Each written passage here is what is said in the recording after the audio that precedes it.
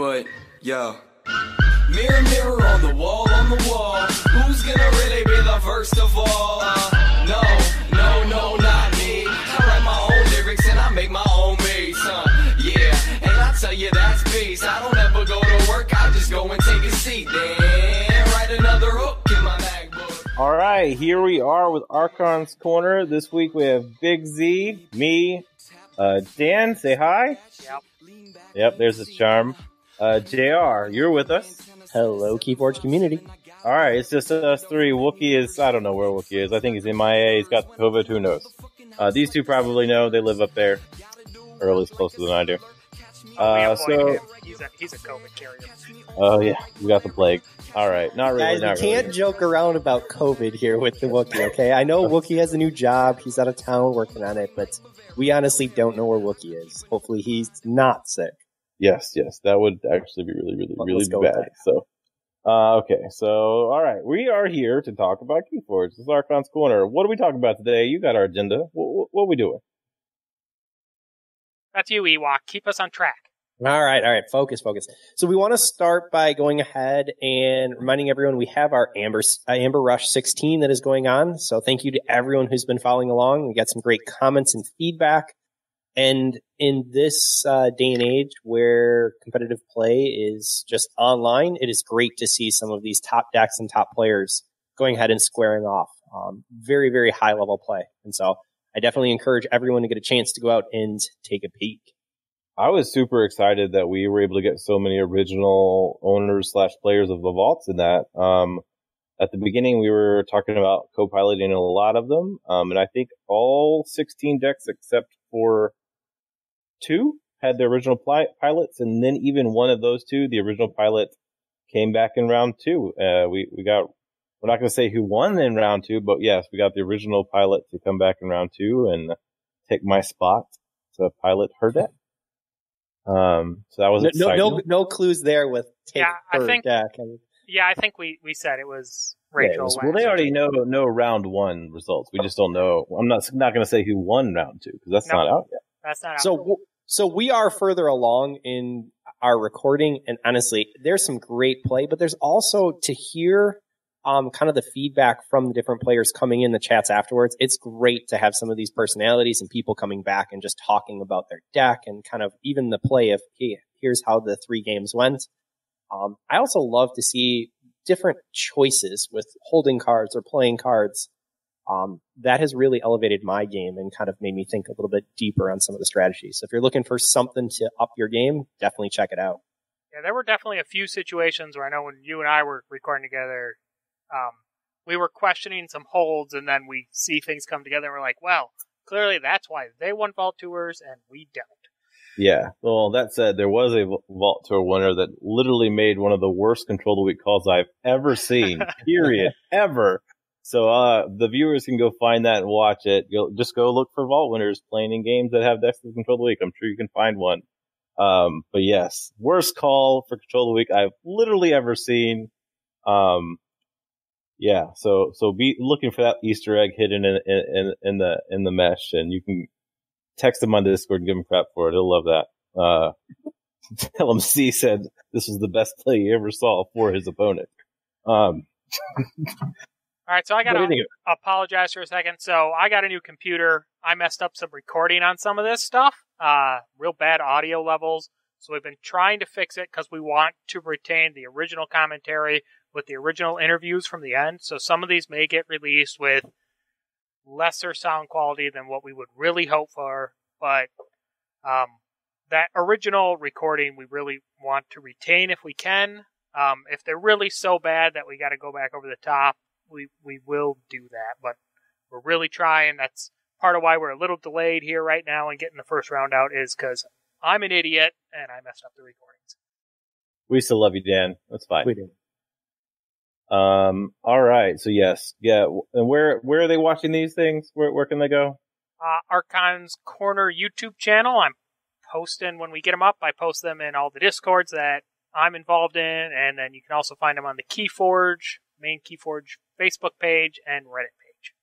Awesome. And, and we had been looking at a Monday, Wednesday, Friday. I think we're a little bit off on that right now, but for the most part, that's kind of the release schedule. And if I can give the little spoiler, we are looking for a big more celebration at the end for the finals being live. Can I say that? Yeah, uh, we don't have a date for anyone, but yes, once we get caught up on our scheduling, I think the goal is to do a live final. It might require uh, some time, janky timing to find out when the best time the players are if they're not on the same side of you know the world. Um, but we'll see. Uh, um, but yeah, the, I think the goals for the live finals, whether I, I guess that's still Twitch, right? Um, I don't. Does YouTube do live stuff? I don't know. I don't know. I'm the tech yeah, idiot. that, that'd here. be Yes. Twitch, but we'll still record it, so it'll still end up on the YouTube in case you're not able to make whatever live timing we can do. Yeah, so hopefully that'll be a, a fun experience for all of our fans. And But I think we might try a little more with that if we can get the two players to do a recorded game chat while they're playing too, depending on who it is and if they're willing. But we'll have maybe both a recording of the commentary and the game chat available on that. that would be neat. I, I don't think I've actually seen that anywhere. That would be kind of cool to see. All right, what's next on the agenda, Ewok? What, what are we doing? Big Sweet. piece is chain bound. So kind of putting out, uh, we have our AC dailies and thank you to everyone who continues to play. I know things here in the US have been a little up and down with COVID. Um, but we still have quite a few people coming out and to be honest, uh, quite a few new people. So thank you to all the new people. Big shout out to you all. And let's just keep playing some MM. I mean, that was a huge, huge, uh, burst of excitement to be able to see, uh, TCO playing uh, MM, and there's some great decks out there, some great personalities, and a lot of different chat channels where uh, you and your partner can go to a diff- the table that you're assigned and be able to talk through kind of what's Mhm. happening. So I'm loving it. Yeah, I got to meet a new player this week. It was a great guy. We had a great conversation after game about like how the decks work and how my deck, like I I high rolled in a, on a single turn and that's why I won. But until then, his deck had never lost and just talked about through his deck and gave feedback like, yeah, your deck's awesome. Your deck's probably way better than mine. Just this thing happens and that's key for. So like I got the, like that was cool. Like that was probably the first time in a long time I had like part, just, just a piece of that experience that I love about Keyforge, the, the getting to meet the people and talk to them and talk to them about their, their Keyforge story. That was really cool getting to do that. Uh, that was Sunday. Uh, what, no, no, that was Thursday. It was this week, Thursday. So that was fun. So Uh, in case, sorry, Z. Go ahead. So I was going to say, in case you guys haven't gone ahead and checked it out, the dailies are still running where we put up odd stipulations. So you get to play a wonky deck, something that's a little bit different. Uh, I think some of the last ones that we've run as of tonight, it was like your, one of your top three MM decks that has the most enhancements. We've had the first uh, deck alphabetically in your group. So I just saw that one. I wanted to play so bad, but I was busy that night. It was literally go to your decks of Keyforge, search Alpha, play your first deck, and like my first deck was like some 56 SAS deck. It looked okay actually, but but I, I had already plans with my son that night. And I was like, okay, I can't make it, but that event looked really really fun. That was cool to see because I had no idea. Al- Like I have thousand decks, I have no idea alphabetically what deck is first. So like that was really cool. Like I like that stipulation. That's cool. Fun stuff. So I definitely recommend everyone coming out. And then uh, we do have Chainbound that is running on uh, Sundays and Thursdays. So being able to see some great decks, stacking some chains, and seeing how that impacts individual decks. So a lot of fun. Yeah, Yep. we, we're getting to play a lot of mass mutation stuff there. Uh, take a couple minutes. Quick thoughts on mass mutation. I mean, one thing I've noticed is I'm, I mean, I'm now opened 10, 11, 12, maybe 12 cases of mass mutation. Um, and my best decks are clearly not the highest SAS decks. So uh, there's been a lot of talk about SAS and mass mutation, and I, I mean, like the high end, the highest number decks I've opened have definitely not been my best. This is another strong combo set, I think. Like some of Yeah, I- the I combinations think- are crazy. The combos go wild, and I have noticed. Um, it was said like this was said in MM uh, about Worlds Collide if they had Saurian, like if you don't have board clears, you're in trouble. I think that goes like double down for MM. Like if you're not bringing more than one, like you need more than one board wipe against some of the better uh, MM decks, or you're going to lose. Like they will capture all of your amber every turn. Like it is not without reason that that happens. Um, so like you need to be able to consistently manage the board, which is, I mean, like back in the CotA days, you need that one ma- major board wipe in case they get ahead of the board and all their creatures start reaping. It's not necessarily that's your worry anymore. It's just once your creatures are out there, your key costs go up, or you can't do X or Y, or they steal every turn. Like it's just these creatures all do stuff that is significant and good. Um, so you need to be have having ways to manage the board if you're going up against an MM. In some cases, more than against World Collide. So that's interesting to see really pan out. And now that we have two sets like this, like I predict, assuming OP ever comes back, like real OP, that like that is a significant meta shift that's going to have to be addressed. I've even uh, uh I don't even know if we say this here, but anyway, uh, uh, there are potential things that might need to be uh, adjusted in SAS ratings and ARC scores of stuff like a board wipe. Because remember, all like the, our baseline for all board wipes that we've ever looked at as far as the ARC score is based out of a CotA synopsis of the value of wiping the board. That's never been adjusted. It's been like the creature control score has been what it has been for a very long time on Gateway to Gateway to Dis. Yeah, which is like a two and a half art card, right? Yeah, like I, I don't even know if it's that or like Spirit's Way. I think maxes out below two. Spirit's Way, in my opinion, is one of the best cards I can get in MM. I'm like, I love that card for Mass Mutation. It's like, oh, no chains, wipe the board, let's go. Lay down two Grey Riders or whatever nonsense you have in house, and just go to town. Like, I, so I think there needs to be some adjustments in general with how effective mass creature control is looked at, um, because its value is way, way higher than it ever was in an open field of Keyforge. Yep. I And, found if, and, and if it's in sealed MM, like, that's the best card in your deck. Pretty much guaranteed. if you have it. say Savage Clash has been Yeah, super Savage Clash, in a lot Spirit's of my Way, Gateway to Dis. Yeah, but- if it's, I found that a lot of the board wipes are very situational related board wipes. Like Axiom of Grisk is not that hot in this Yeah. set. it's trash. If you're But- playing against Worlds Collide or MM, that is not a card. Worlds Collide is not nearly as Oh. trashy as it is against Mass Mutation. There's just so No. much capture in Mass. Um, Savage Clash, that one strong creature can Yeah. be enough to make it so it just Savage Clash isn't getting the job done. Like I've I've encountered a few times where my deck is primary board control is even multiple Savage Clash, but they land one good gigantic creature and I just get to be in trouble. Let's see, the thing is that that's almost inverted if you're playing against any non-MM set. If you're playing against MM, yes, you're looking at the, the three gigantic creatures. There's some other big ones. Uh, there's, I can't remember the name of the creature that like enrages itself and then gets to go again.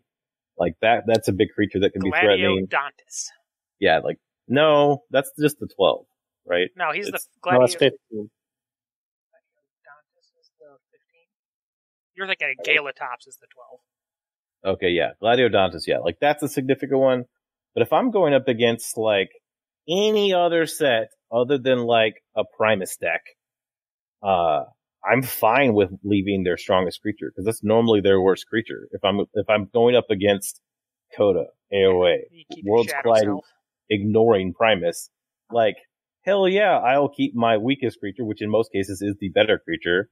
And you get your, you know, Groggins or whatever the heck. Like, this this set, your weakest creature is often in mass mutation. When I say this Yeah. set, your weakest creature is often not your best because he's got a play effect and then he's useless. that's true. Like there That's are most A of the player- good status effects are on creatures with some meat.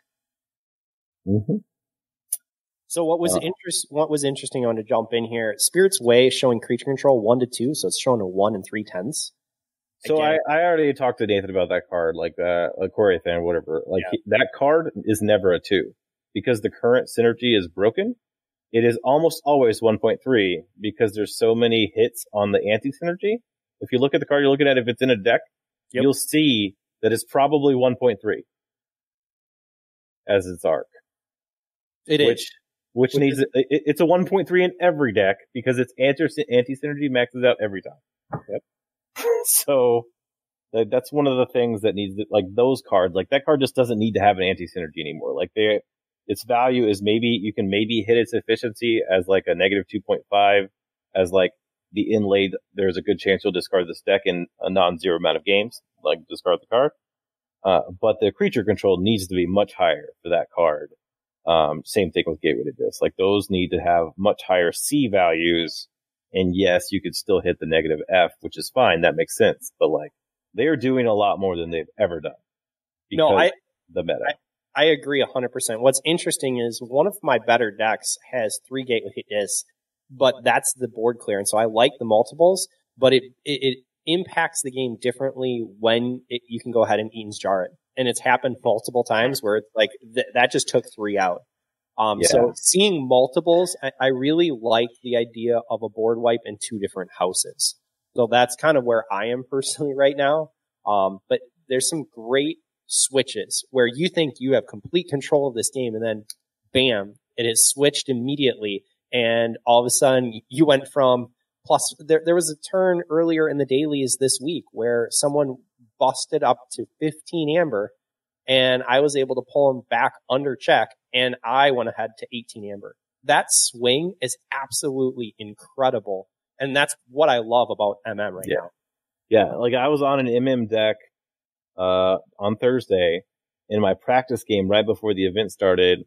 Um, someone had just uh, got a bunch of my amber because it was all uncaptured dudes. He'd killed them.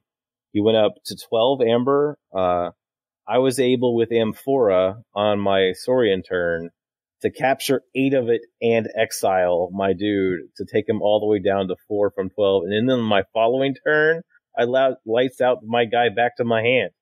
Like, that is so busted. It is really, really fun. Like, those are huge swings happening.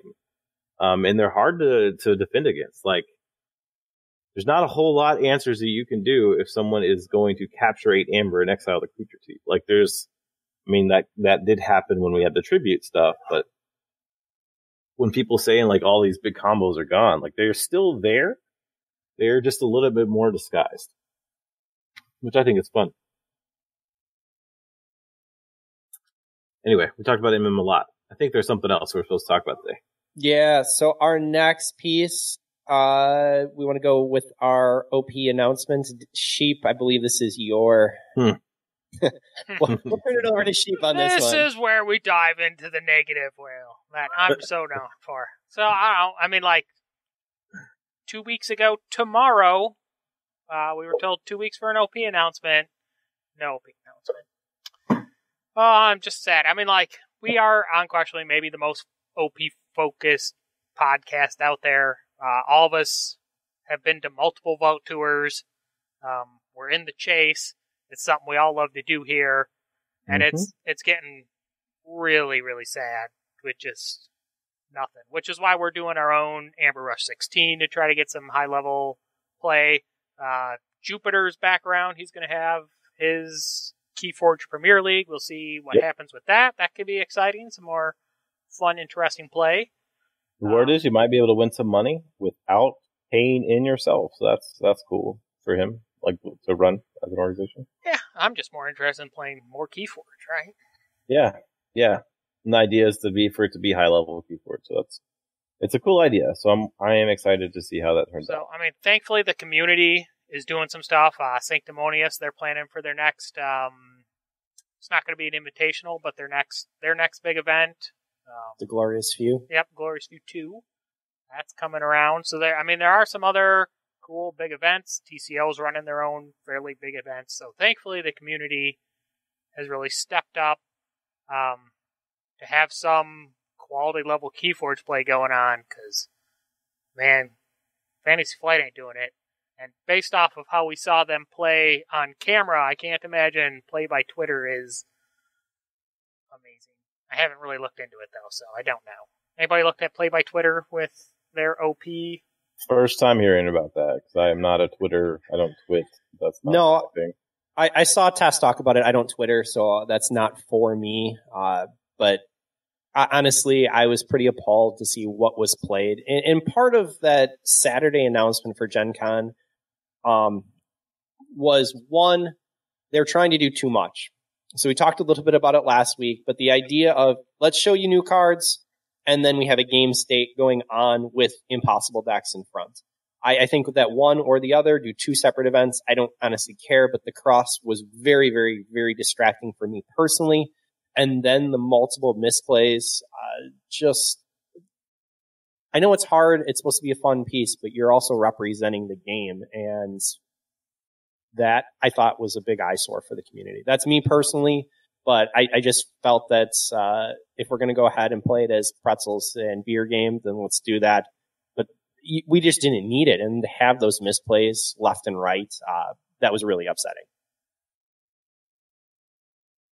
You can yeah, send complaint. You can send complaints to Ewok. Yeah. Oh no. Should go, the Ewok should go watch the go watch the Control the Weak play from uh, a Vault Tour winner. and, and and I know that I know that we have them, but I mean everyone makes. I I don't I don't fault people's plays that much. I didn't watch the feed though. Don't watch so, the feed. I mean, or like maybe we should watch the feed and do our commentary like we've been doing for. oh, yeah, that would be so much brutal. Um, oh, it would be brutal. I think. I don't mind misplays, and I kind of shrug off most of them. I, I did give uh, that person a hard time for the control the weak thing. Um, but like, if it's constant, yeah, I'd be no, like. this I, was like she played Quixel Stone and then played four creatures. Well, he had no board. Um, there was like a play and, I hear where he like played an Axiom and and they didn't remove any creatures after the act, or like only one one side of the board got moved. There was a a lab work in the creature line at one point as a creature or something. It was just, was a, I mean, like not not just like play mistakes, like like I don't yeah, know what like, game like, you're playing mistakes. There, there was a key abdu- there was a key abduction where one side Mars creatures returned, but the opponents didn't. Is, is that what it was instead of the Axiom? Yeah. Yes. I mean, like it was but it's they couldn't communicate right because they had yeah. the other part of the group talking, doing what was going on. So they weren't able to communicate between each other as they're playing cards, and they're sitting across that kind of oddly shaped table, With pretty far apart. So I could see it being a very difficult game of Keyforge to play, anyways. Yes, I, I, will go ahead and say for Tess and Josh, I uh, that was not going to be an easy task, but just go simpler for us guys. Just go ahead and show us the new cards if that's what you want. Um, I, I, I would have been perfectly fine. I would have been focused on it and have cutouts to individual cards to fill in some of the time as you're getting the next card set up. I mean, I like some of what they have done before. I think Brad was doing some of the, like, this is the story behind Philosophosaur, why it is this way. Like, as they're introducing new cards, like, that's the only kind of spoilers stuff I've really gotten into when uh like the FFG has produced it. Um, but yeah, I mean, I guess it's cool to see. I have enjoyed like I've gotten to play a game um against Josh. Uh, so uh, like that was fun. Like that's cool, but that was on site live, so I don't know if I would have like watched. Knows he, he knows how to play, the, the game. Um, yeah, he knows how to play the game. So like that was that was fun. Okay. I won. Uh, so that was cool. um, I wasn't in the get a chance to win a deck though from the time they did that, uh, but that wasn't Josh. Um, but anyway, fun. I, I do like the, the spoilers that they, that they just kind of give to us. Like, but yeah, it's, it's, I guess it would be frustrating if they're making a lot of mistakes like that, but it's just sad. I mean, the other piece for us is that, uh, Sheep, we already talked the OP announcement. So it was going to be two weeks. Two weeks is tomorrow. They got the tomorrow, last... so we can't be too mean. Tomorrow is a Saturday, okay? Like, I- am sorry, but most people aren't working. I'll give it to them. Please, please bring it out, show it to us. This is obviously probably make it out after. But the last announcement we had on the OP website was January 3rd. I mean, well, we are joking about, is there another website? Like, yeah, we were promised a brand new website. Yeah. It's still in the works. I mean, you know, the the COVID situation, I'm sure, has destroyed a lot. But I mean, yeah. that there have been uh, uh, other people have helped on this podcast before who were probably even way meaner than we are now about how bad their communication has been in the past. And well, I gotta say, I, right now I feel it. Like I'm feeling like I just, at least you know, it's clear that the game itself is going to live. Um, if you listen uh, if you go and listen to Call of Discovery, they just had Danny Schaefer on. Um, you go listen to that where they talk to Danny Schaefer. Like, it's clear that the game is moving forward. Yeah. Uh, who knows? It's just who knows with the OP side. And like I said, this I I mean I am an OP focused player. If there was no OP in this game, there's probably no Doctor Sheep in this game in a serious manner. So hopefully OP gets sorted out. Yeah, I, I guess I fall in that bu- bucket too. Like, there's no way I'd be as invested as I am if I hadn't had as much fun I did on the Vault Tour, meeting the people I did, getting to meet, like, be part of the groups that I'm part of group of, like, group with, because the groups that I am a part of wouldn't exist without OP. Um, so yeah, like I, I'm definitely in that bucket. I think if it's like, if future wise, I'm going to always own Keyforge decks. I'm always going to play it from time to time because I think it's, it is one of the most fun games I play. Um, but yeah, like I, I, I agree with that, Dan. If it wasn't for like the actual P side, I think like myself included, a lot of us wouldn't be around still. So I hope one day they do get their, uh, their stuff figured out and we start progressing with like real actual updates that are related to OP versus like, I don't know. I mean, FFG is like the master of announcing announcements. So like, I'm tired of that. I, I want real news, like actionable stuff. I understand that the world is in crisis and there's a pandemic. Um, but just like, let us know what y'all want to do once we're done. Like, I don't care when that is. I just want to know. Uh, that would be nice. Right. Would be nice. And I'm not even like, when I say OP, I'm not. I mean, like Vault tours are fairly important to me, but I'm not that invested. I've never been that invested in Vault Warrior. Like I would play, but that that was never the draw for me. Like I never got into this game going, oh, hopefully there's cash prizes someday. So that part, you know, if it comes, it comes. If it doesn't, it doesn't. But right now, with just being nothing, there's no prize kits. Chainbound is sort of happening, but like even Without even, even like store level OP is just at best stagnant. Yeah, because unless the stores are just giving away product directly from their pocketbooks, like they're not. I mean, the price support we all know has been, you know, those mats are awesome. We all love them. We have a hundred of them. Um, like, but and I do like some of the mats, but like once you've won so many, it's just like okay, anything, anything else would be Well, nice. and the new disc tokens were cool, but I mean, like that was kind of right there before everything blew up. So And even those, like I felt, because I run the event, so I've seen the actual OP support kit. Like those tokens, those were kind of new and neat, but you got so few per kit. Um, like you run out of them real fast. yeah, Uh, at least I did. and then like like- it's it's a crapshoot on some people are interested in them because they're neat new tokens, and other people Have all are, their tokens. are so. well invested into third party aftermarket tokens, and they're like, yeah, what do I want with purple versions of the same cardboard tokens everybody else has? I do like tokens. I have a set. They're not, I mean, I, obviously I have other I- tokens I use, but they're cool. I had them for extra prize support at a store championship, and those went before store championship level Kit. prize kit stuff. Yeah, Oh, they didn't want a bingo bang bang map number, mat number eight. Um, turns out okay. No. I like that mat. I think it looks cool. I have a whole bunch of them. Um, okay. Yeah.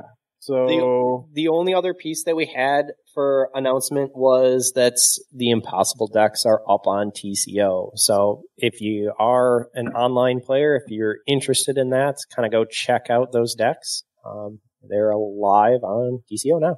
So my only, and I think I talked about this, maybe I was chatting with some people on Discord, but the only thing I really think with Impossible decks, and remind me if I talked about this last week, is Impossible decks leads me to say that they are aware of constructed Keyforge. Right? Yeah, maybe we did talk about this because I was saying You this was about it. Blake's last week. So it's still maybe constructed Keyforge is is a hope for them, or is is a hope for people who really want that because that's what Impossible decks are. I do know. Yeah, I know I- there's people that do. I'm not a magic person, not a magic player, not a fan. So that takes away a lot of what drew me to it. If that becomes like the thing. On the other hand, my 500 decks become more useful when I only need one third of most of them. Yes, I definitely have the cards to make near unbeatable decks for sure. Yeah. Um, but yeah, anyway, I I mean that's pretty good. I think we're about about an hour here. Uh, talked about most of what we need to talk about. I think we could wrap up here. Let's go ahead and do it. I know that we had talked about going into new cards, but frankly, we had talked ahead of time, and we're really enjoying MM. There's a little burnout of uh, maybe cards coming in. We will share them, but if we're already at an hour, I say let's go ahead and save the Yeah, new cards for next I, week. I think we're gonna hold. Yeah, we should hold off and talk about some of some of the DT stuff once we get a more like clear picture. Um, because I think I know that happened to some of us with some of the cards in AOA. Although I I was pretty down in AOA the whole time, but I definitely did like unfairly assess some things in both AOA and Worlds Collide without getting a more complete idea of the scope. Like there's that definitely happened in MM too. There's some cards that are way better in MM because of other synergies that we could have seen um, without knowing more of the cards. So like I, I would like to get a little bit more scope of the cards before I start talking about them. I think I have a pretty good grasp on where they're going with what we've seen, but we've seen so little. It's hard to like really give any competitive or future, you know, conjecture about what it'll it'll do. I can go ahead and say for MM, you know, when we were taking individual houses, and I know we talked last week a little bit about this, you miss some of the combos, but the end Mhm. result is there are cards in MM that just don't stand out by themselves. But with the enhancements, with some of the play for combo disc, and that's what we're talking about, Yeah. seeing that combo, they have really upped their game, in my Yeah, opinion, 'cause- with 'cause I'm- cards. Like the biggest highlight I can give the audience for an example, if they weren't, if they didn't listen to our assessment of those those lines, is that we had a long conversation about Bo Nithing, and at the like at the end of the conversation, I, I talked myself into thinking this is a good to above average card, and then I think I know at least Wookie was somewhat down on the card, and was like, eh. But like now that we know what Bo Nithing does with Safe House, and even being able to play Bo Nithing with Subject Kirby, uh, like and all the other like different things that happen in MM, Bo Nithing is one of the best cards in Shadows in the set. like it's I was just going to do a little. This is a help from future self thing, but the would you rather, which is would you rather have a rad penny or a Bo Nithing in your deck? like depending on what else is in the deck, uh, it, it's Bo Nithing. But if it's in a vacuum and I, I have to pick one, like it's still hard. I still might choose Bo Nithing. I think I would still choose Bo Nithing because at the end of the game, that two steel is Mm-hmm. Oh, just that's so much better than one. Yeah. And Yes. to tell you the truth, I've often had points where the recursion of my Rad Penny just ends up filling my hand with Yeah. one or two shadows cards that I don't really want there anymore because you're trying to turn at some point. Like red Yeah. penny is good, and in in a much more focused thing where you can have cards enhanced, yeah, Rad Penny can have way Yeah, that's stronger what I was about to say. Like, I honestly only really like Rad Penny if it's enhanced, or if the deck has at least one Secret Needle, because then you're doing a lot more with that card. See, that's where you're looking at the combination. For me, Yeah. I have to go bow, and the reason I have to go bow is the difference of play versus the destroyed effect.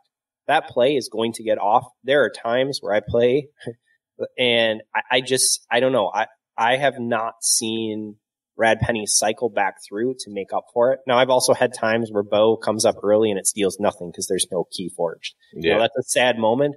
But I think overall, the ability to take two is just a lot more dangerous than the ability to take one. and there is a quite a bit of like random nonsense recursion inside of the set. Uh, so like there is, there are many ways to get bow back out of play. Like in some cases, it's if it's sealed, it's it creates a really hard situation for your opponent. But even like in open Archon, that like are they recurring bow from their hand while he's alive? Or are they recurring him from this discard while he's dead? Or is it both? Like it's it's the the the deck the decks can fire those cards from multiple angles, so you really have to pay more attention to like should I leave it on the board? Should I not leave it on the board? Does it matter? Can they do it both ways? Like there's a lot more like Keyforge calculus that has to be done that used to be only done with like stuff like Infernus, right? Like do they have Exhume? Do they have a state? Like that's used to be all you had to look for, but like with certain cards now, you kind of have to start looking at their, all of the angles of a deck, which like once we get to like live play, like uh, at the high level, like that two minutes goes real fast. so like because you still have to do all your normal checks, like what board wipes are they, you know, like all the the normal stuff that we've talked about in the past, and now you have to start looking at ways that they can recurse things. There's Um, yeah, a lot of creature recursion in the set too. Yeah, a like it's- a lot. a lot of a lot that's not bad. Like let's let's specify. Like other sets have it too. It's just often it's just not great. Um, other than Exhume, that card's always been busted. Um, I. I do have to say the sad piece that's been happening to me too often lately is Imp Spectre going ahead and taking my bow from hand and purging it. I've had this happen multiple times and it is absolutely infuriating. I'm like, really? You just did that again? the it's Crucible funny. gods hate you. It, Yeah. it, it happens, but you know, that's, that is the good response for bow late game is, oh, there went an inspector just to randomly hit it. Mind Fire has been wrecking me. I, I, it, it always hits stuff with pips. One game, my son played Mind Fire against me, and it got a five pip card. I was like, steal five on that that card, right? That's what that card does. Sure, it's not supposed to do that. Z, I, I have a, You I have a deck to play you then. Huh? I, I have a deck to play you then. It's my uh, four Mindfire deck. Every time someone plays Mind Fire, not only do they get the card I needed next turn, it's always a card that has at least two things on it. I was just like, this card hates me. I used to be the same way with uh, Mind Barb also. Like, I was, like cards that randomly discard from my hand lose me games so often. Like it's so frustrating. I, I will say Eaton's Jar makes that four Mindfire really sad though. You're just like, oh, okay. Eden's jar is really disruptive. It is Wow. a very, very good card. Like, I mean, Dis in this set at its top end, I think is just silly. I mean, that's almost every set. yeah, well, I, and I think what we give like a mediocre feeling to Pain Mail, and Pain Mail, especially if it gets enhanced, that card I think is probably the best recurring card in the set. You know, self Well, recurring. like e- even in my rankings, I had this as a close second to Logos. yeah, we all had Dis as one of our top Mm-hmm. Yeah. two, and you can It's see super it. good, man. It's just well, like we already we just talked about all the recursion, and you still have Infernus in set. Like that card is beyond busted. It always has been, and there are decks that truly take like maximum advantage of Infernus, like I- beyond anything World's Blood was doing. Yeah, I Like haven't it's run. sad that Exhume is gone, but like they still do Infernus every turn. Like it's crazy. I haven't run into it myself, but Snudge and Infernus are in the set. Like I've had decks with it, but I haven't seen it hit the table and work. But man, snudging at your own Infernus. Oh, E- Well, Essence, yeah, Essence scale with that snudge really makes it then- go ahead and return nicely. an Essence Scale and uh, Relentless. Lord Invidious. Or the, sure, Yeah. he'd be good too. Yeah, there's so many things with Essence. I Scale. got Essence wrecked Scale by Lord Invidious the other day. Oh, Yeah. All right. I think we're good. yeah. yeah. Uh, summation MM is great. Uh, we want news from OP. Any news, any news, really, like, preferably stuff that you're No, actually no, no. going to do. We, we want actual news, yeah, not. I'm sorry. an Yes, we do not want an announcement about announcements. That we do not want. Um, yeah, MM's fun. Go play some uh, Keyforge online, uh, either on AC or in the Premier League or the TCO's events or tournaments. I haven't actually looked into that. Um, but yeah, play some Keyforge. I'm also Crack some odd more willing decks. to accept an announcement of this is a new way for you to spend amber shards, and it's for silly things like uh, screensavers. If, they do that, I'm I'm gonna I'm gonna be less than positive about it. I, I would be okay with way to spend standard shards. Like, I'm okay with a way to spend amber shards, but if it's for digital things like screensavers, Like, s- uh, I would probably spend amber shards. Like, if you went to one of my decks, like a certain deck that I own, like its master vault page and the background would look different. Like, I would probably spend amber shards for that. Like, for it to match the house theme or something. Cost them nothing. So, I mean, something silly, but I'd probably do something like that. But anyway, that's just me. I'm sure there are others that do that too, though. well, you're also amber shard rich, so That's true. I have a few. I don't have the most in the world anymore because, you know, you could get 10 per deck. And I no longer have the most in the world because I know per- someone personally that bought like 4,000 Amber Shards with the decks. and passed me in a day. He passed me in one day. All your hard work for nothing. Yeah. For no more bragging rights. All right, well, let's close this down before I keep talking. All right. Uh, yeah. Play with one more cool Keyforge. Have a great time. And we'll have new cards coming next week or in the future. Sweet. See you all. But I could do work now. Let me interrupt. See me round the green like a diamond in the rough. See me on the road like the wheels on the bus. And don't worry about my name, you gon' know it soon enough. B. Rogers. yeah, really no bluff. Baby, little young kid, I am growing up. And I'm never slowing up, but I'm never in a rush. So I'm always taking time when they tell me hurry up. Like, chill, son. Like, five more minutes. I gotta find the right place to rest my sentence. And I don't even think that I'm gonna finish up until I get the cheese effortless like a dentist. Uh. Mirror, mirror, tell me how it is. I don't go to work, I talk to the kids. So, hi ho, here I go. Like DJ Cool, I clear my throat. Uh-uh.